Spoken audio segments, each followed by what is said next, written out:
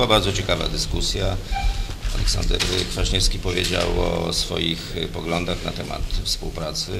My będziemy oczywiście współpracować, jesteśmy na to otwarci, ale musimy jednocześnie umacniać naszą tożsamość polityczną i organizacyjną odrębną. Ale na czym ta współpraca ma polegać? Bo to jest takie bardzo ogólne słowo, pojęcie względne dosyć. Na przykład y, popieraniu wspólnych y, projektów albo też ujednolicenie stanowisk w odniesieniu do rządowych projektów, chociaż będziemy oczywiście pewnie częściej też y, inaczej głosować, a na przykład udział y, w manifestacji pierwszomajowej.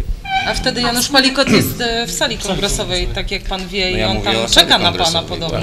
Nie, nie musi czekać dlatego, że będziemy to razem robić, ale to będzie manifestacja w obronie e, ludzi pracy, a nie kongres. Potrzebny jest i dialog, i współpraca i będziemy to kontynuować. No, na pewno nic się nie wydarzy nagle, bo też i powodów do takiej natychmiastowości nie ma.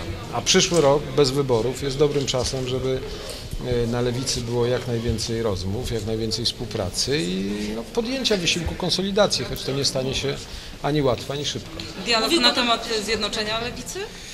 Współpracy. Zjednoczenie to jest za mocne słowo. To jest na pewno nie mm, tytuł, ani nie słowo na rok 2012. Natomiast dialog i współpraca tak. Ja myślę, że to jest dobre hasło na przyszły rok.